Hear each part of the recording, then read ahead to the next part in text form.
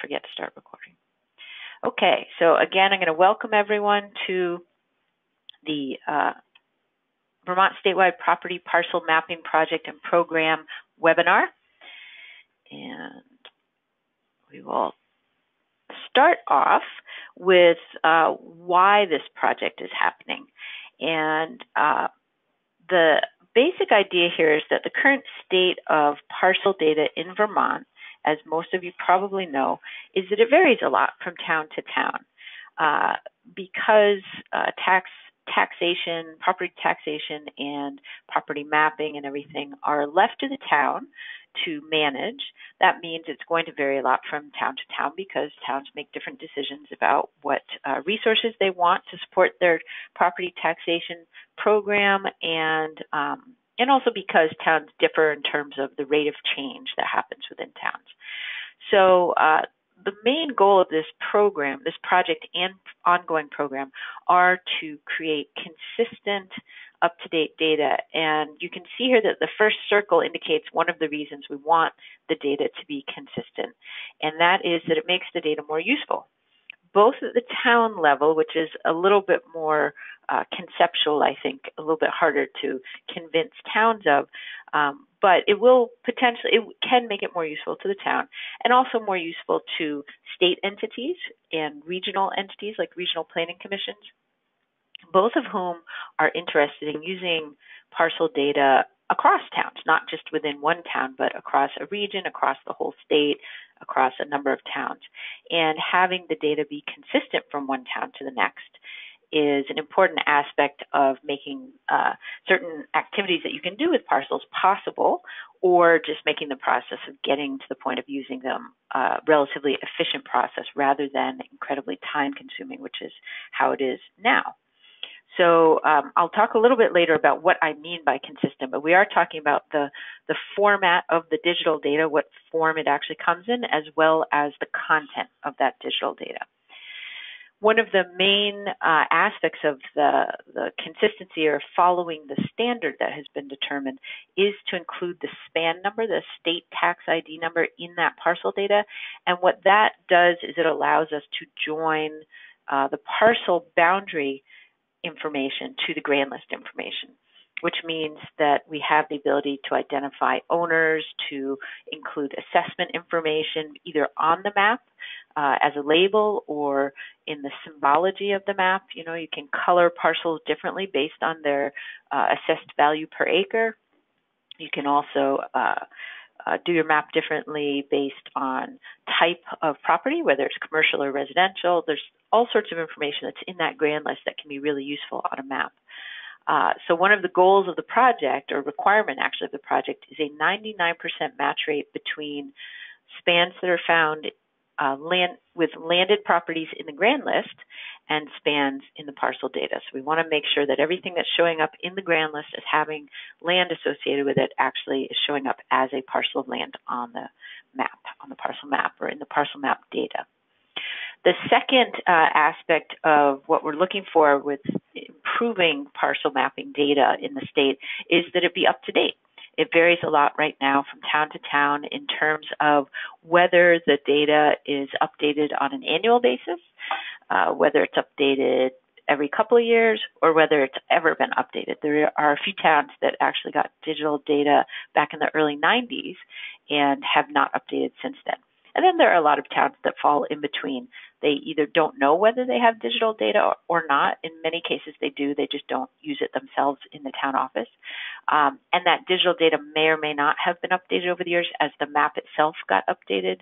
Um, and uh, and then in some cases, there are towns that either actually don't have any tax map or property uh, parcel map, or that simply don't have that connection between the digital data and the paper map, and therefore it hasn't been updated um, in a long time. So again, one of the goals is to have up-to-date data for every town in the state. And in some cases, that is a simple update, an annual update. In some cases, that's going to be creating data from scratch, which is within the scope of this project for some towns, for the towns that need it. And then the final thing uh, that is a goal of this project is that the data be convenient. So uh, most of the towns in the state do have some digital parcel data, and for most of those towns, we do have a copy of that data here at VCGI, which means that it's available. We have an online mapping data portal that gives access to that data so that people can download it. Um, there are also ways that they can connect to it that involve streaming over the internet. It also means that that data is provided to the state online mapping applications such as ANR Atlas and the 911 viewer. Um, so by achieving the goal of improving the uh, comprehensiveness of that data, that is to say, making sure every town has digital data, making sure every town's digital mapping data, uh, parcel mapping data is up to date, we're ensuring that every town is represented on those state map viewers like the Atlas and the 911 viewer. We're making sure that people who come to our portal, our data portal, looking for that parcel data for any particular town are going to find it for every town. So we're um, making that data more convenient both to um, the citizens of the town because they can access the information through the Atlas and the 911 viewer, and also to uh, state entities, uh, regional entities, and private sector folks who are potentially serving the citizens of your town. Uh, and that would include foresters, surveyors, environmental uh, consultants. So here's a little bit of description about the project itself. So this is a funded project that is being run by VTrans, the Agency of Transportation. The funding for the project actually comes from the Federal Highway Administration. And um, one of the key things I want everyone to know about this project is that every municipality in the state is eligible and indeed is actually expected to participate in the project at some point over the three years. Right now, we're in the first year of the project, so there are two more years or phases really uh, when a town can participate if they have not participated yet. So it's a really, really important thing I want to get across is that all municipalities are eligible. I'm going to see if I can turn on my little highlighter here and highlight that on my screen. All, oops, sort of crossed it out. Um, and so, so we hope that every town is enthusiastic about participating as well. Um, I'm going to skip over benefits for just a second. Uh, I mentioned funding, but I also want to talk about how that funding is being handled. So um, the money is not the, the sorry the project is not a grant program, nor is it a reimbursement program to towns. Uh, this is a vendor-based program in the sense that the money is going to flow directly to mapping vendors or mapping contractors who do the work for the state, but that the result of that work, the, the data that is produced, is also uh, a product for the town. It's public information, so and it will be provided to the town as well as to the state. Um, what that means is that there are 10 contractors, mapping contractors, who have been put under contract with the state for this project specifically. And uh, there's a process that's gone through to assign mapping contractors to towns where the contractors actually bid on the towns they want to work with. And um, and then the the VTrans team, which actually myself and another member of my organization are members of that team as well, review the the proposals, the bids, and assign companies to towns based primarily on their suitability to work with that town, not based primarily on the bid. The bid is an important part of the submission, but it's not actually the first thing that we look at in assigning a company to a town. In fact, the very first thing we look at is whether that contractor has already already has a relationship with that town, already does maps for that town, whether the town wants to continue working with that contractor.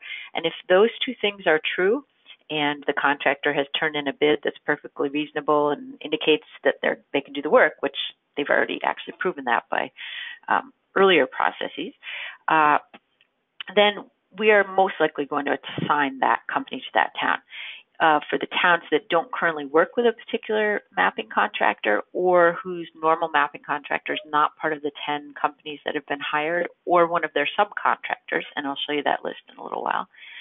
For those situations, um, a company will be assigned to the town. The town is not required to establish any additional um, uh, relationship with that company. They can choose to get additional products from them, uh, but they're not required to, and there's no match on the part of the town. So this project does not cost the town, explicitly cost the town anything in terms of um, having to come up with match. There, there is potentially a cost in terms of the time of listers or other town officials that would have to work with that mapping contractor, um, and there may be um, tasks that that contractor is working on that that request additional work from the listers or other town officials beyond what they might do in a normal year of map update. Um, so I'll talk about that in a moment too. Uh, the final thing I want to point out around that funding and that whole vendor state relationship is that the project funds are being used to create data, not paper maps. So if you think of the normal map update process for a town that gets annual or maybe every two years gets updates, that normal process will include a series of steps. Let's say there's four steps. The first step might be communicating with the town, collecting information about any uh, subdivisions or boundary changes that have happened over the past, whatever that period of time is, year or two. Uh, the second step would be taking that information and incorporating it into the digital data that is then going to be used to make the maps. But at that point, they're still working in the digital realm. Most parcel maps are created in on a computer in some kind of digital software. In some cases, it might be CAD. In some cases, it might be GIS software. Um, either way, it's digital data. Those first two steps are activities that are covered by this project if the contractors then moving on to making maps for the town, they move more into the realm of cartography, uh, thinking about other elements that are going to be on the map, working with that aspect of the map making process. And then the final step would be printing it out. Those two steps are not covered. Those activities are not covered by this project. Additional activities that are covered by the project would be taking the data that's now updated, changing it and enhancing it so that it meets the state standard that the parcel data standard that is required as part of this project. And then a final step is doing the 99% match. So there could be additional activity involved when they do that comparison between the grand list and the parcel data, they might find there's only a 90% match. And given that there's a 99% requirement, they would have to come back to the town, most likely work with the listers and say, I'm only getting a 90% match. Can you help figure out why that is or make any changes to the parcel data that would uh, result in a more accurate map and therefore a better connection to the parcel, the uh, grand list. So those are um, the questions related to, or sorry, the issues related to funding, uh, how this works, where the relationship is. If uh, the town does want paper maps from that vendor or another vendor, they would, as usual, they would set up a separate contract for the specific products that they want, the paper maps.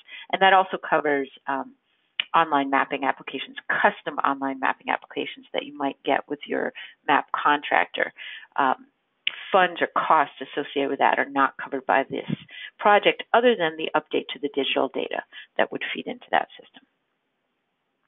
So the benefits to the towns um, are hopefully in some cases fairly concrete and then in other cases might be a little bit more indirect or uh, depend a lot on the town. So for some towns, if the timing is right, then you are going to not have to pay your mapping contractor to do those first two steps of their normal update process because the state will be paying them to do those steps. And when I say you won't have to pay them, what I really mean is you will need to negotiate with your mapping contractor to say, how much are you going to charge me for my update this year based on the fact that the state is paying you to do the actual update to the digital data and the town really should only be paying you to do all the work that comes after that to end up with a map. So um, I need to emphasize because I think it's something that, that I didn't emphasize enough earlier in this project that it really is up to the town to negotiate that savings with their mapping contractor. Um, the information that you have that you can bring to the contractor to say this is why we should get a reduction is I know that the state is paying you to do um, these tasks that you would normally do for us. And so we should only be paying you for tasks beyond that that lead to the paper map or uh, online custom map that is our final product. So um, in that way, municipalities can benefit. I want to emphasize again, this is not a reimbursement from the state to the town, and there's no grant from the state to the town um, to ensure that financial benefit. We can't promise that you're going to get that financial benefit. It's about the relationship between you and your mapping contractor. Um, the other benefits are that you're going to have, um, you know, for towns that haven't updated their data for a while, they're they're going to get the benefit of having uh, much of that paid for. For towns that don't have any map or data, obviously they're they're saving a lot of money because that can cost tens of thousands of dollars to create a parcel map from scratch or from a very old um, map. So those benefits are a little clearer, more more obvious for certain towns. And then the more indirect or conceptual benefit is to towns that um, are going to get better data, more useful data, and maybe are going to take uh, advantage of the opportunity to start learning about how they could be using that data. And um, obvious ways would be understanding what sorts of things they can ask the Regional Planning Commission to do with their parcel data, what kinds of maps they can develop. Uh, and then the town itself may want to develop more internal capacity around using uh, the digital data. There are a variety of ways that a town can access their parcel data plus many other mapping layers that are free, um, from online mapping to desktop mapping that is free and open source software. VCGI and your regional planning commissions can help you learn more about those options. Oh, I've stayed on this page too much now. It doesn't want to move forward. there we go. So, oh, I have to erase that somehow. So, um, so I've been talking about the project. The project is a limited time funded effort. Uh, we are right now in the first year or the first phase of that project where the first 73 towns are actually being worked on right now. Uh, the second two phases will be the remaining towns in the state. Our hope is that the second phase will be 90 towns, and then the third phase will be the remaining 90 towns in the state that haven't participated yet. So each town will participate for one year. Um, and then we'll be done with this probably by the end of 2019, maybe the very beginning of 2020. We do have a program that we have set up. So a program is an ongoing thing. Um, there is no funding from the program to towns. There's a little bit of funding that's coming from all the state agencies that that comes to VCGI to help support us have to have the staff to call it a program. Uh, technically, I think we have one and a half maybe uh, staff. Myself, part of my time, and then my colleague Jenny, uh, all of her time is supposed to be devoted to the program. What the program can provide and there's some overlap here with the regional planning commissions. We, as we do now, we plan to coordinate and, and partner with the RPCs to support the town. So it's really up to the town who they get support from uh, to some extent, but the program is dedicated to providing the support. So we can provide a certain amount of technical support. And by technical support, I mean uh, information about how to use the data, how to ensure that you have updates into the future, um, the sort of technical slash administrative support in a way, because we can provide um, uh, process, information about the process necessary to hire a mapping contractor. So if your town gets assigned a mapping contractor during this project, doesn't have a previous relationship or doesn't want to work with your previous mapping contractor, doesn't want to work with the one that gets assigned to you beyond that one year, that's fine. Um, we can actually help you uh, understand and go through the process to hire someone because we really, really recommend that every town, when they're looking at changing or hiring a new mapping contractor, that they go through a competitive process with a request for proposals. It's not as scary as it sounds. We can provide template documents. We can walk you through um, writing an RFP, walk you through the process of how you get that RFP out, how you take in re- proposals and uh, review them, and how you make decisions. It, the decisions are uh, up to the town. Um, you make the decisions, but we can walk you through how you do it. Uh, regional planning commissions can also provide that type of support. We can also provide the support about how to use the data, what sorts of options are out there to um, to do mapping or to access mapping information within your town. there are a lot of options, and it completely depends on the town um, what level of option you might want to consider. And again, the RPC can support uh, some of that as well. Uh, number two on here is that VCGI is going to continue to do what it does now, which is pull the data together from all the towns and make it available to the public. And that includes, as I mentioned before, making it available at our data portal for download, available via web services, which is how people with mapping software can access the data uh, streamed over the internet, and then also making sure that it gets added to mapping applications like the ANR Atlas and the 911 viewer. Um, another aspect of that is that we are working on improving the process we have now. Some of you who whose data already gets uh, sent to VCGI and it already gets posted in the mapping applications may have noticed there's a bit of a time lag between when your data gets updated and when it actually appears in our applications. And that is something that we are working on. We, we have a plan for how to do it differently so that it's much quicker. And um, and part of this project and, and kind of as it leaks over into the program or, or transitions into the program is that we want every town to include in their contract with their mapping contractor as they um, set that up for just doing ongoing updates, that they include in that contract a, a statement that in addition to the contractor providing maps or data to the town, they're always going to include a copy of the updated data and send it to VCGI. And that helps to ensure that the town doesn't have to remember, the RPC doesn't have to remember, VCGI doesn't have to remember to get the data. It just flows naturally to VCGI when it gets updated, and then we quickly incorporate it into our portal and all of the, applica- the mapping applications. Number three on here uh, is about the fact that we do want to offer to a limited number of smaller towns with limited capacity um, the option that VCGI might be able to edit your digital mapping data.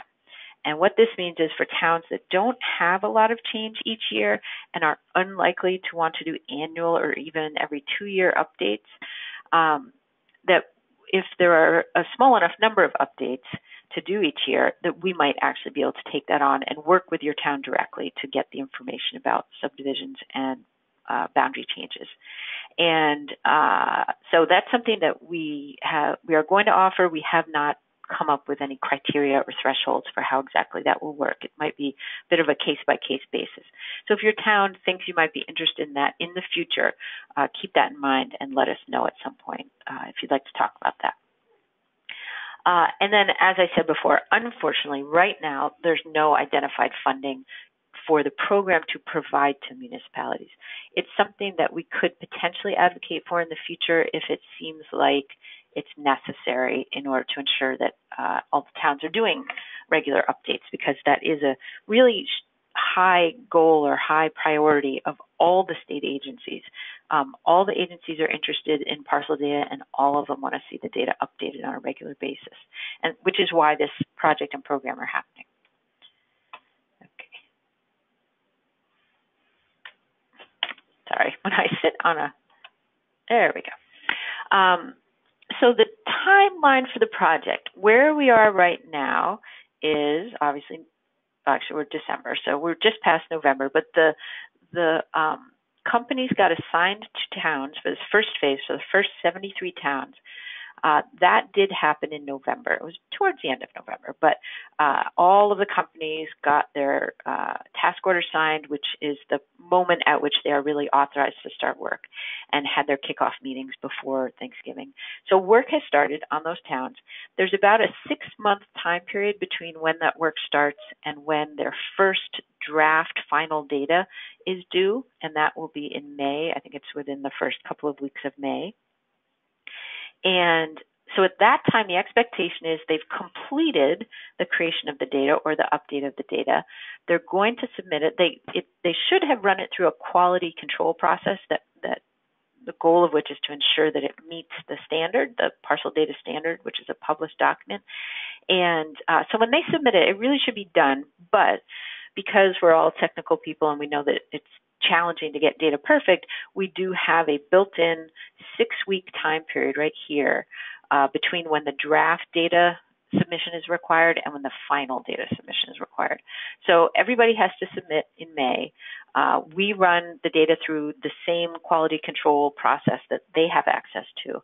And if we find any issues, we just hand it back to them and say, nope, here are your issues, need to fix these uh, by June something. I don't know exactly the, what the date is, um, but sometime in June there's a hard date by which they have to do that final, final data. Once we have that data, we will use our enhanced process to get that data um, available to everyone quickly. And as that final part of the project is happening between May and June, we hope that we will be actually starting the process for the next phase or the next year of the project. And that will involve publishing a final list of towns that are participating in that second phase providing that to the contractors and having the contractors then have a time period within which they can develop their uh, task order proposals for that second pile of towns. They will submit those sometime during the summer. There will be a deadline. And um, the hope is that those year two assignments will be made sometime in July and that work would begin either late July or early August on that second um, group of 90 towns.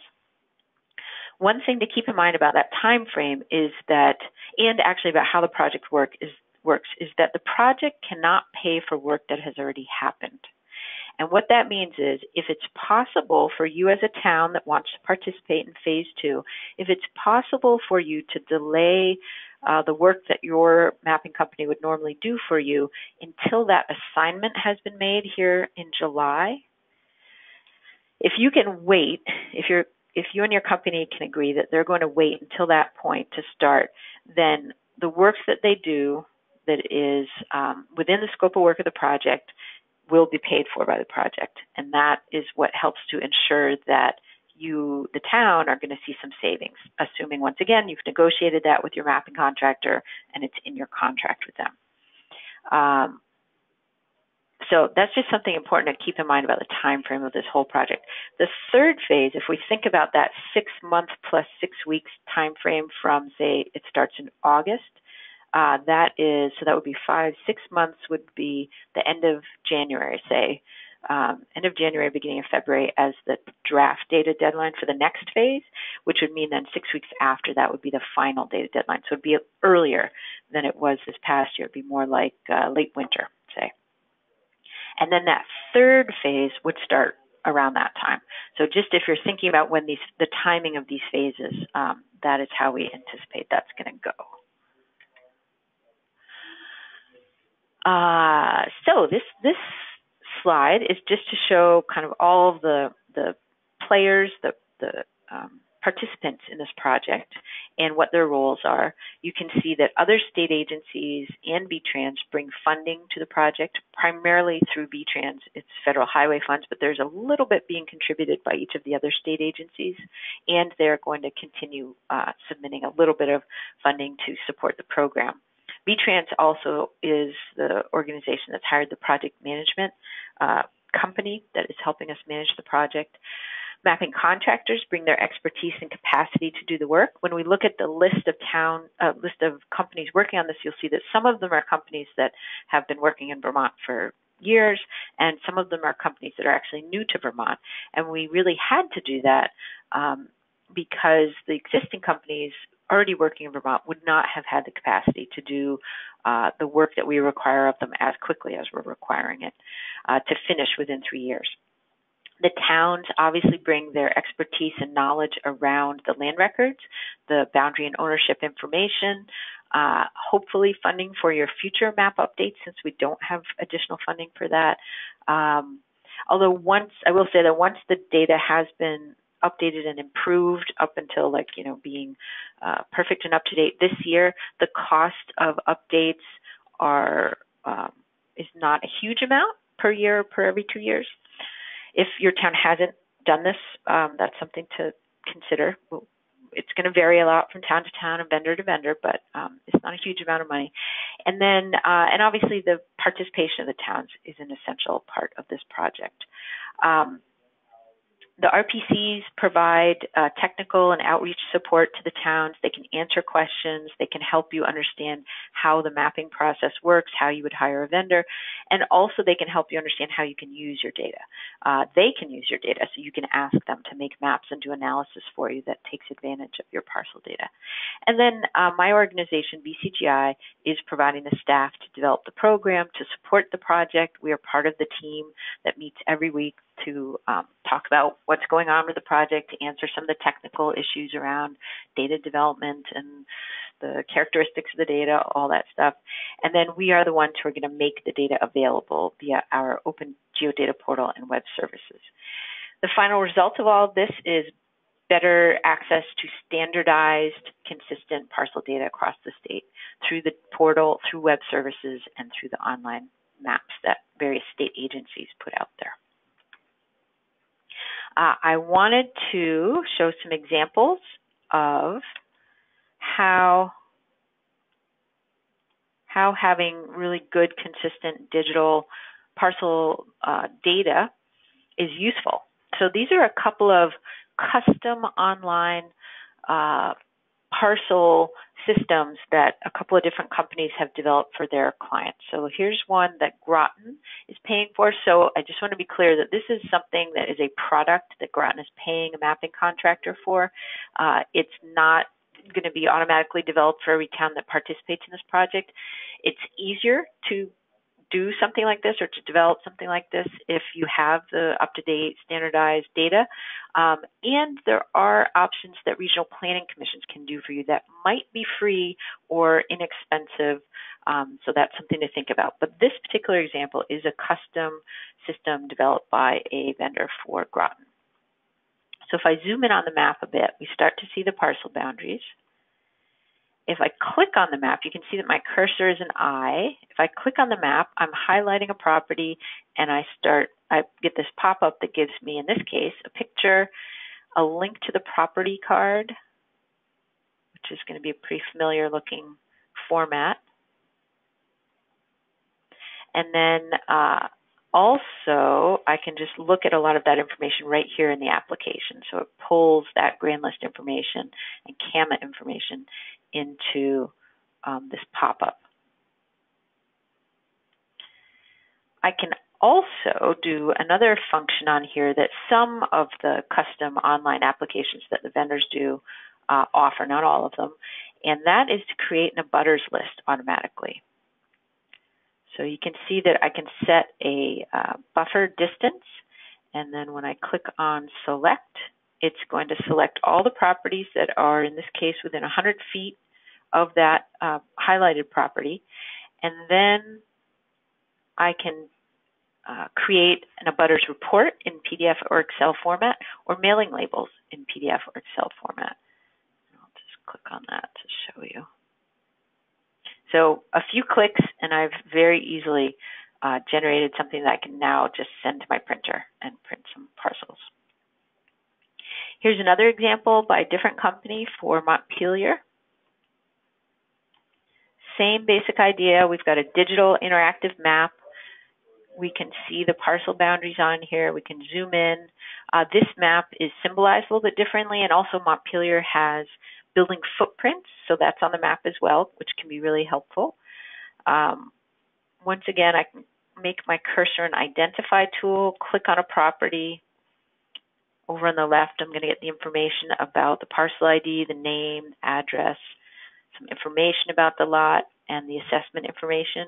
I also have that link to the property card slightly different format, but I think the same basic idea in terms of what listers generally see on a property card. And um, okay, so I think that's all I wanted to show on these. And then the final thing is sort of as a contrast to those actually, um, if you go to our the map center at the VCGI website and then interactive maps, we can get to the Agency of Natural Resources Atlas. So this is one of the most popular online state uh, applications. Takes a bit to load because it has a lot going on. It has a lot of functionality, a lot of data layers you can look at.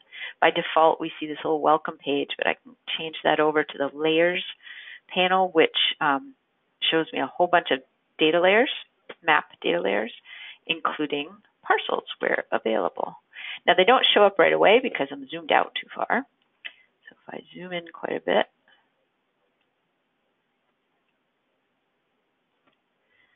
I will eventually see some data or see some parcel boundaries.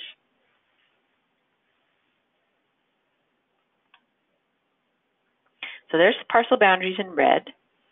Once again, I can click on the map and I get a pop-up. Now, this is where we see the results of the fact that we have very inconsistent data in Vermont.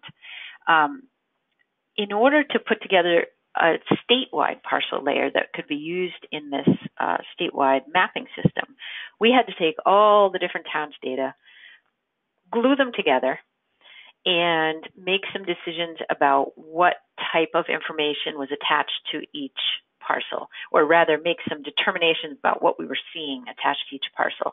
In some cases, we had no other information, like they're called attributes for each parcel.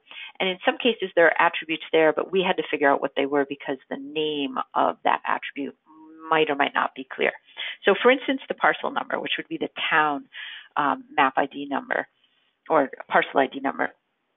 In some cases, it was obvious. In some cases, uh, we we thought probably we knew which one it was, and we would actually say, okay, that's probably the parcel ID number, and in that case, you would see a value here. Uh, in some cases, we didn't know or it wasn't there, so that's why we get a blank next to parcel number.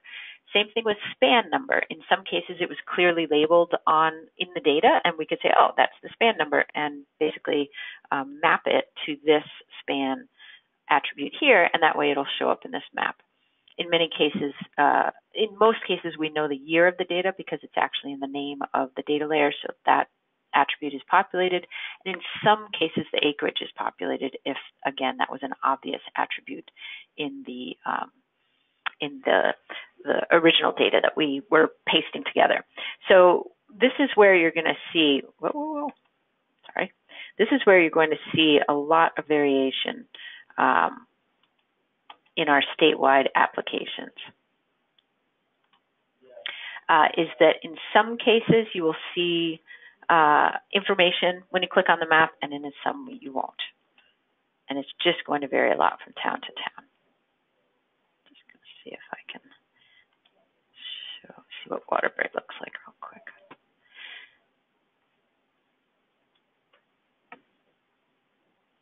Yeah, it's kind of similar. So one that a town that I looked at yesterday, I actually noticed that the parcel, the span number was obviously mapped incorrectly because the format was not a span number. So I'm not sure how that ended up being mapped that way. Um, but the point is that people here at VCGI have to make a determination with each uh, town's parcel data, and the fact that it varies so much makes it really hard to do that consistently and accurately. Whereas once we have data that's consistent and um, and has the same attributes uh, for every town, it becomes much easier to make that determination and make sure that the data that's published on the mapping applications is accurate. I'm going to go real quick now to the parcel program page at our website. So to get more information about the project, you can go to this web page at our uh, website. You'll see link to me, link to the contractors um, contact, and that's the, the project manager on the program. And then there's some overview information. There's a dynamic map here that you can use to figure out which of your neighboring towns are already participating in phase one and which company they're working with. That's what that's going to tell you. And then further down on that page, there are links to other information, including the parcel data standard that I've referred to a few times, and the list of mapping contractors.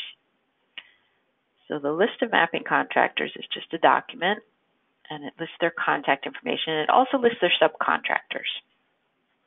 So if you want to check whether the company you already work with is on here, you just need to go check this list.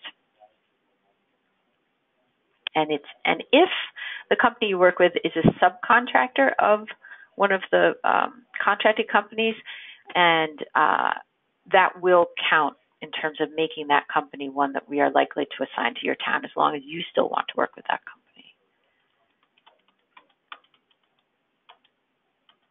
Okay. And then the standard. So the standard is a technical document. It describes various aspects of the format and content of the data.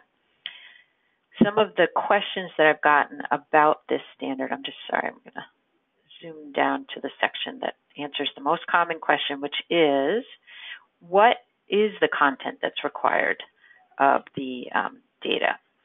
So here we get into what the attribute requirements are for the various pieces of the data.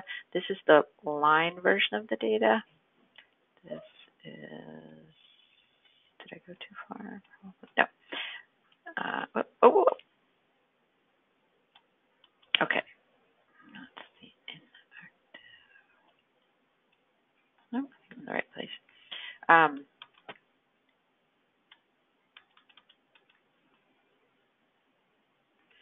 So um, over on the left here are the field names, or if you think of it as a table, these would be the column headings of the attribute data associated with the parcel data. So each of these fields would have a value of some kind in it for each parcel. Oh, this is for the inactive data, sorry.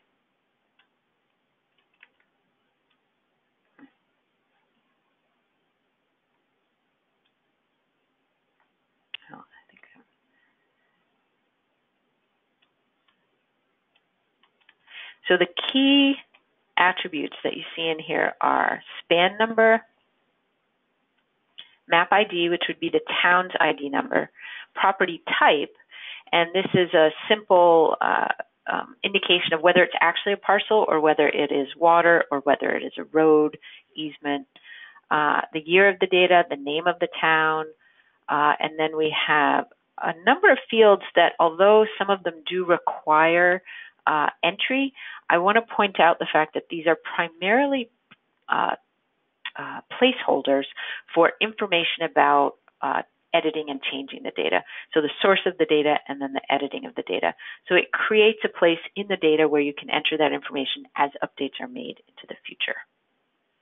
These do not mean that you're going to have that your contractor is going to have to go back in time to figure out the original source for every single parcel. It means that uh, they'll fill something in uh, during their process, but then in the future, as things get updated, you will be able to uh, have that information about why it was updated.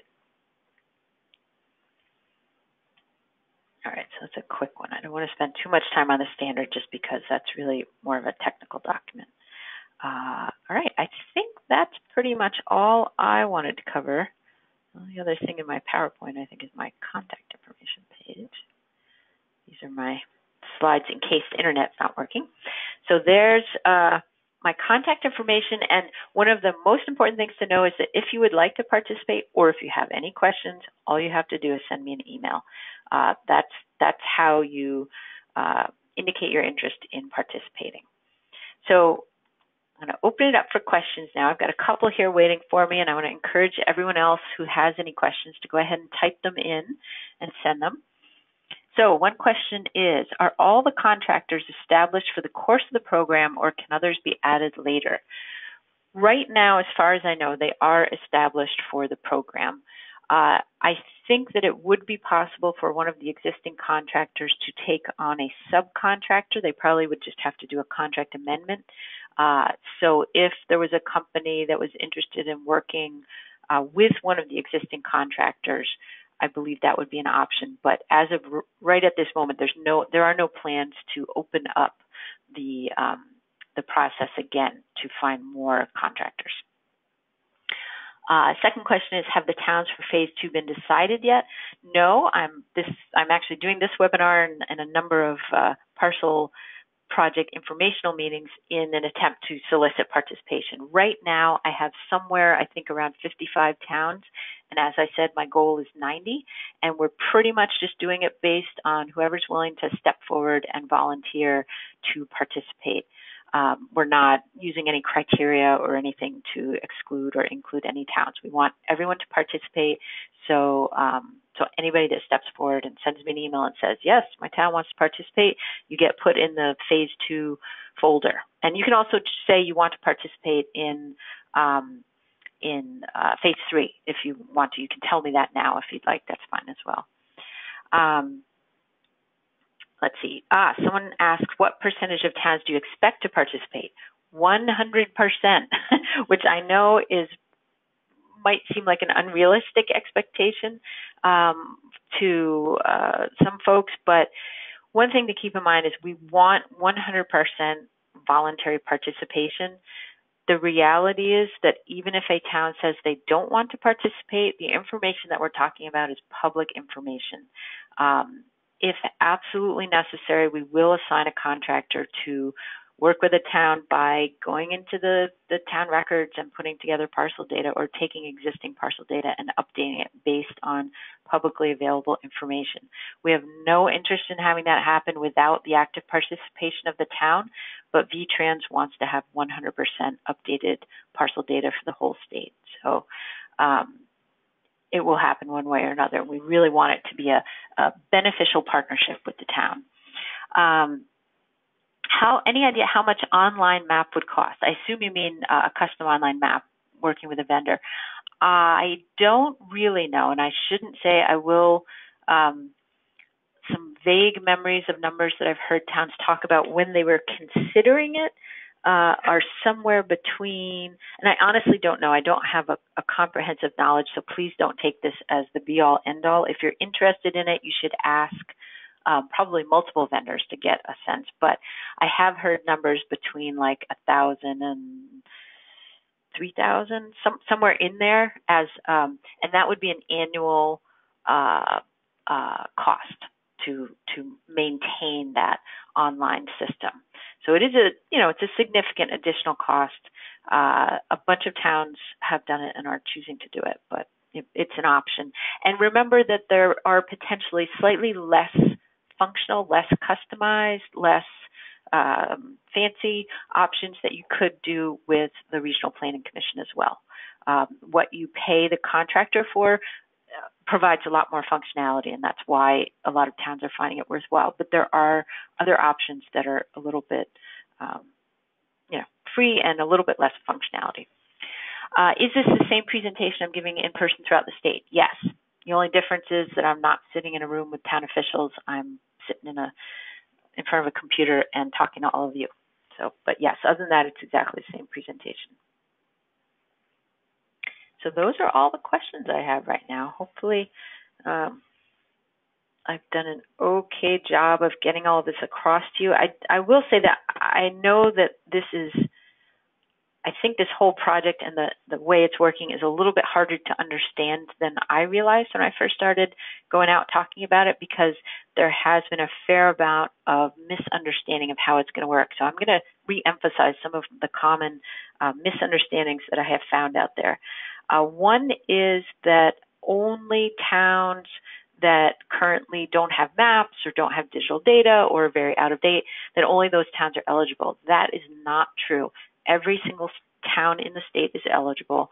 Even if you are a town that keeps your data perfectly up to date, every year you get an updated map or you have online custom system already set up, even if that is the situation, we want your town to participate because there is a very good chance that as perfect as your data is, it may not exactly meet the standard. And for the sake of consistency, we really want every town to be on board with having consistent data. Um, so any effort on the part of your regular mapping contractor that would be necessary to tweak your data to make it meet the standard, we want to pay for that. If uh, your mapping contractor has a particular way that they maintain the data because it works with the online system that they do for you, that's fine. We will also pay them to create a little software that will transform the data from their format or your format to the state standard format. So, um, and then that software can be reused over and over again. So each year, in order to turn it into the state and the state format, it would just be a, a sort of a turn the crank operation to uh, achieve that. Um, uh, let's see. So that was one of the most common things is that not everyone's eligible. Everyone's eligible. Um, I can't promise, and the state can't promise how much savings you will you will get if again if you normally do updates every year every couple of years we believe that it's reasonable to expect that you would get uh, a discount on your normal rate that you pay because the state is going to be paying for activities that that contractor would normally perform. It may depend on the timing of how you participate, when you participate. It may depend on simply how you negotiate with your contractor around that. Um, we are happy to provide any information necessary so that you feel confident in negotiating with your contractor. Um, but that's pretty much as much as we can do. We can explain what the tasks are that the state is paying for, and we can um, we can actually once once everything is set up and you have a company assigned to your town, we can tell you how much we're paying that company to do those tasks, to do those portions of the activity. Um, one of the other misconceptions is the idea that it's a reimbursement or grant program. It's not. There's no money flowing from this project or program to towns at this time. The project, the money flows from VTrans to the mapping contractor directly to achieve the tasks and the final products and deliverables that are required by the project. Um, I think those are the main things that I have found that I that I feel that I haven't been getting across to everyone. So I just want to reiterate those. Um, I'm not seeing any more questions, and I am just babbling on at this point. So I think that I will probably stop and I will remind everyone that this uh, webinar is being recorded and when I shut it all down it will convert into a format that I can upload to our VCGI YouTube channel which you can get to by going to the front page of our website. And on the left all the way down on the left under connect with us you will see that link to our YouTube channel and that's how you um, and you'll see it'll get listed right at the top here once I upload it, or you can switch over to videos where you only see the videos that we've uploaded. And um, it will appear right here over to the left of Census Bureau webinar once I do it. And I should be able to do that by this afternoon uh, because it'll do its processing during lunchtime, and then I'll do that right after lunch. So I think that's all I have. If nobody has any more questions right now, then I'm going to shut down the webinar. I'm going to pop up my contact info one more time just in case um, you'd like to jot that down or do a screenshot. If you have any questions about this, please send them to me. If you would like me to come speak in your town office to convince uh, anybody in your town office about the value of the program, how digital parcel data can be used, um, just to answer more questions because it might be easier in person, happy to do that. Oh, the one additional thing I'll show you now that I think about it is there are a few more live, um, sorry, I gotta find out where I am, live uh, presentations at regional, uh, in concert with the regional planning commissions coming up. So I'm just going to pull up our list of coming events and you will see um, parcel mapping information meeting northeastern Vermont. That's going to be in St. Johnsbury on December 11th. Uh, Bennington County, that's going to be, I believe, in Arlington, December 13th. And then a final one in St. Albans, either town or city, uh, on January 18th. So those are the three final live uh, info meetings that are coming up. And you can, again, go to our website, click on events, click on click here for a list of all events, and then click on the title of the one that you're interested in for more details. And that'll tell you where it is and um, what time and all that. Okay, that is the final bit of information I'd like to leave you with. So thank you very much for participating and sticking with me for an hour. I hope this was helpful. And again, I encourage you to get in touch if you still have questions. Thank you very much, everybody. Have a great day.